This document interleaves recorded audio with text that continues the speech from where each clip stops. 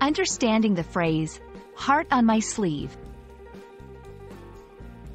Hello, everyone. Welcome to our English language learning series. Today, we're going to explore a fascinating English idiom, heart on my sleeve. This phrase is rich in meaning and is commonly used in English conversations. Let's dive into its meaning, origins, and how you can use it in your daily conversations. Heart on my sleeve is an idiom that refers to the act of openly displaying one's emotions or feelings. When someone says they wear their heart on their sleeve, it means they are transparent about how they feel. They don't hide their emotions. This expression is often used to describe a person who shows their feelings easily, rather than keeping them hidden. The phrase, heart on my sleeve, has a fascinating history. It is believed to have originated from medieval jousts, where knights wore the colors of the lady they were championing on their sleeves. By doing so, they openly showed their allegiance and feelings. This historical context helps us understand the expression better.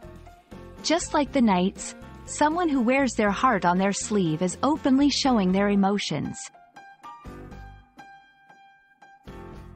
To understand this idiom better, let's look at some examples. 1. In personal relationships, I always wear my heart on my sleeve. So when I'm upset, everyone knows. 2. In professional settings, during the meeting, he wore his heart on his sleeve, clearly showing his disappointment with the decision. 3. In literature and media, the phrase is often used in books and movies to describe characters who are emotionally open and vulnerable. When using heart on my sleeve in your conversations, remember it's best suited for informal contexts. You can use it when describing yourself or others who are open about their emotions.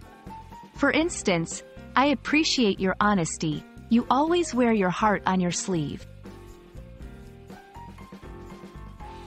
We hope this video has helped you understand the meaning and use of the phrase, heart on my sleeve.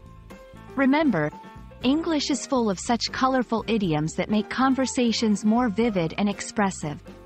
Keep practicing, and don't be afraid to wear your heart on your sleeve when learning a new language. Until next time, happy learning!